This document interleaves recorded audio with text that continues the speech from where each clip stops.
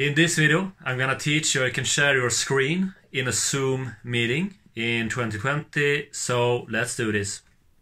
Okay everyone, so in this uh, tutorial, we're gonna learn how you can share your screen in a Zoom meeting in 2020. So right now I have this meeting live and to share my screen, just go to the center of the screen right here at the bottom.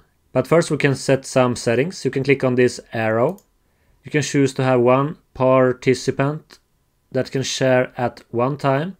Or you can have uh, multiple uh, that shares the screen at the same time. In my case I'm gonna choose this one. Only one at a time. Then we can click on advanced sharing options.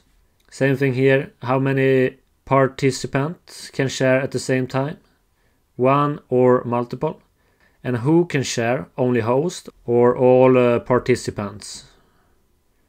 Alright, who can start sharing when someone else is sharing?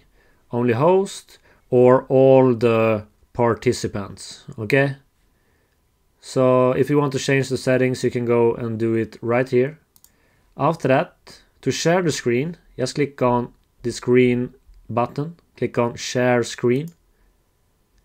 And now you can see all the screens that you have open on your computer.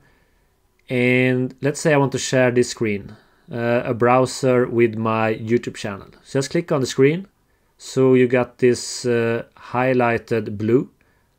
You can also choose to share computer sound or optimize screen share for video clip. So because I'm just gonna share my browser, I don't need to share computer sound or optimize screen for share video clip. So after that, just click on share. And as you can see, I now share my browser with uh, my YouTube channel page. Okay, so now you can do whatever you want to show everybody your screen. And when you're satisfied, just go to the top at the middle and click on stop share. And this will take you back to the Zoom uh, application. All right, so this is how you can share your screen in a Zoom meeting in 2020. I hope this helped.